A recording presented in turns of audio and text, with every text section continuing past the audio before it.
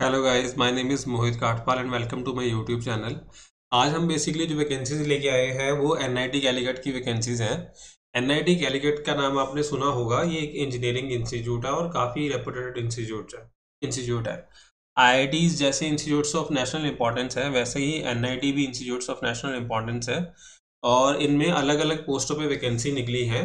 Tenth से लेके PG holders तक जो भी आपकी क्वालिफिकेशन है, आपके लिए इसमें वैकेंसी होगी ही होगी तो हम वो सारी की सारी अभी डिस्कस करेंगे वन बाय वन तो काइंडली वीडियो के लास्ट तक बने रहना। तो चलिए स्टार्ट करते हैं कि कौन कौन सी वैकेंसी निकली है क्या क्या सैलरी रहने वाली है और क्या क्या एलिजिबिलिटी क्राइटेरिया होगा और कैसे कैसे अप्लाई करना है।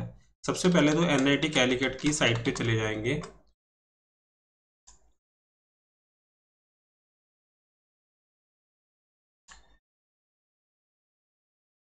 जैसे आप साइट ओपन करोगे तो आप यहाँ पे देखोगे कि नीचे आ रहा है नॉन फैकल्टी रिक्रूटमेंट नोटिफिकेशन यहाँ पे क्लिक करते ही ये सारी वैकेंसी निकल जाए सामने आ जाएँगी जो जो यहाँ पे निकली हुई हैं अभी। लेकिन इनका कलेक्टिव एक देखने के लिए इस लिंक पे क्लिक करना, आप इन्फॉर्मेशन और recruitment of non teaching jobs यहाँ भी जैसे ही आप क्लिक करोगे तो आप देखोगे कि यहाँ पे deputy registrar group A post से लेके लैब अटेंडेंट तक ग्रुप सी पोस्ट तक की वैकेंसीज हैं।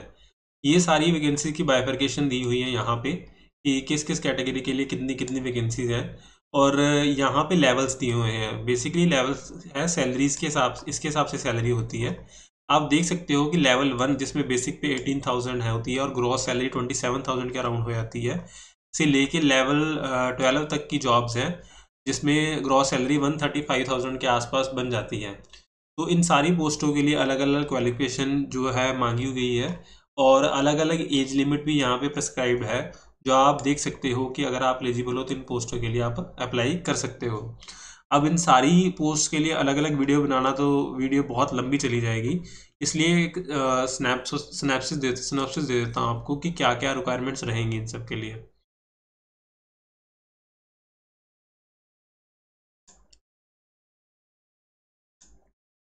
यहाँ पे आप देखोगे कि जो रजिस्ट्रार की पोस्ट है, उसमें पीजी मांगी हुई है। ऑफ़िस अटेंडेंट की पोस्ट के लिए टेंथ क्वालिफिकेशन मांगी हुई है। जूनियर असिस्टेंट सीनियर असिस्टेंट की पोस्ट के लिए इन्होंने ट्वेल्थ क्वालिफिकेशन मांगी हुई है टेन प्लस टू और सुपरिटेंडेंट की पोस्ट के लिए इन्होंने ग्रेजुएशन क्वालिफिकेशन मांगी हुई है। तो ऐसे जो टेक्निकल ऑफिसर्स की वैकेंसीज हैं, उसमें इन्होंने टेक्निकल क्वालिफिकेशन मांगी हुई हैं। तो आप की जो भी क्वालिफिकेशन है, उस हिसाब से आप पोस्ट चेक कर सकते हो। अब चलते हैं कि कैसे अप्लाई करना है और क्या क्या फ़ीस स्ट्रक्चर रहने वाला है अप्लाई करने के लिए। तो यहाँ पे जैसे कि ग्रुप दिए हुए हैं तो अलग अलग ग्रुप के लिए अलग अलग फ़ीस रहेगी। तो इसके नीचे चले जाते हैं। इस फ़िलहाल लिंक पे क्लिक करोगे तो आपके पास सारी डिटेल खुल जाएगी कि कैसे अप्लाई अप्लाई करना है इसके लिए। सबसे पहले तो ग्रुप ए के लिए वुमेन कैंडिडेट्स के लिए 400 फ़ीस है और जनरल कैटेगरी कैंडिडेट्स के लिए 800 ग्रुप बी पोस्टें हैं जो उनके लिए वुमेन के लिए 250 और जनरल कैंडिडेट्स के लिए 500 और ग्रुप सी की पोस्ट के लिए जो एस सी टी है और वुमेन कैंडिडेट्स हैं उनके लिए 100 एप्लीकेशन फ़ीस है और जनरल कैंडिडेट्स के लिए 200 एप्लीकेशन फ़ीस है। बाकी सब फॉर्म्स में क्या होता है कि जब भी आप अप्लाई करते हो तो कम्प्लीटली आप ऑनलाइन अप्लाई करते हो एप्लीकेशन फॉर्म भरते हो और लास्ट में फ़ीस पेमेंट होती है। लेकिन यहाँ पे थोड़ा काम उल्टा है, यहाँ पे आपको पहले फ़ीस वाले पोर्टल पे जाना पड़ेगा, जो कि यहाँ पे मैंशन है फ़ीस पे के लिए। यहाँ पे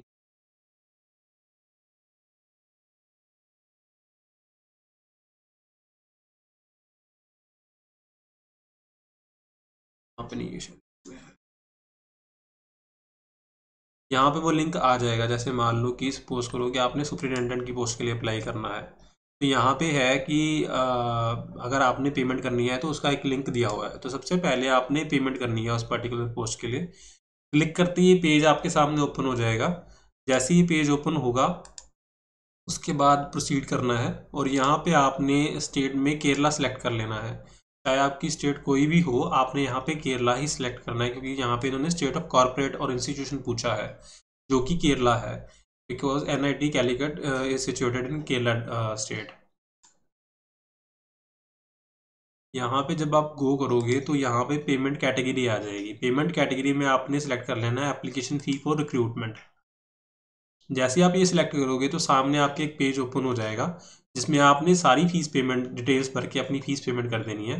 जैसे ही फ़ीस पेमेंट करोगे तो एक ना एस का रेफरेंस नंबर जो है वो जनरेट होगा और फ़ीस रिसिप्ट जनरेट होगी आपकी। फ़ीस रिसिप्ट का आपने अपने पास सेव कर लेनी है और जो रेफरेंस नंबर होगा वो जब भी आप अप्लाई करोगे, जैसे इन पोस्टों के लिए आप अप्लाई करोगे यहाँ पे नॉन फैकल्टी रिक्रूटमेंट में तो जैसे सुपरिटेंडेंट के लिए यहाँ पे अप्लाई करोगे आप तो यहाँ पे अप्लाई करोगे तो वहाँ पे वो रेफरेंस नंबर आपके एप्लीकेशन में भरा जाएगा। अभी तो क्या ये वाला लिंक ओपन नहीं हो रहा बट हाँ शायद मे बी रश की वजह से नहीं हो रहा होगा ये लिंक ओपन बट जैसे ही आप ये लिंक ओपन करोगे तो वहाँ पे अप्लाई करने वक्त आपने जहाँ पे वो रेफरेंस नंबर मांगा होगा, वो भरना ज़रूरी है अदरवाइज़ जो आपकी वो है एप्लीकेशन है, वो रिजेक्ट हो जाएगी। तो ये था कि एनआईटी में जितनी भी पोस्टें निकली हैं, उनकी सारी डिटेल और अगर आपको वीडियो अच्छी लगी हो तो kindly like share and subscribe to my channel and thank you so much for watching